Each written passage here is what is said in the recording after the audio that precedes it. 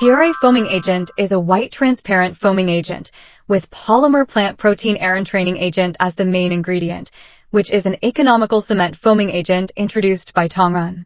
The blowing agent can meet the requirements of large volume foam concrete, has excellent compatibility with common silicate cement, and can be applied to foam concrete blocks, lightweight partition wall panels, cast-in-place walls, backfill, and so on.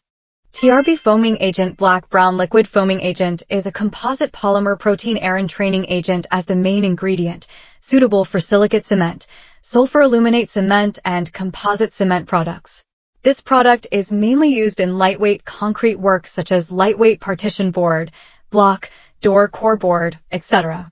TRC foaming agent is a yellowish-brown liquid nanopolymer composite foaming agent with high foaming volume, good foaming effect, low dosage, stable foam, which is widely used in the production of foamed cement partition boards, blocks, and prefabricated parts.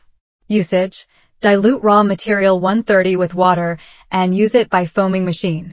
Add 0.6 to 1 kilogram to 1 cubic meter. TRD high concentrated blowing agent is the high concentrated blowing agent for the production of foam cement with high effective content, stable foaming effect, and low dosage, which is the first choice for foreign customers to make CLC blocks and wall panels. Low cost. Toron foaming agent has large foaming power and low dosage.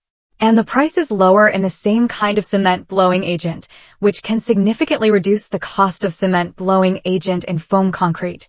Foam stability performance can meet most of the foam concrete construction requirements, can meet the needs of many construction fields, such as roof insulation, foam concrete filling, and so on. Mild adaptability. Tongren foam stabilizing agent has good foam stabilizing performance, good foaming performance, and good low temperature stability.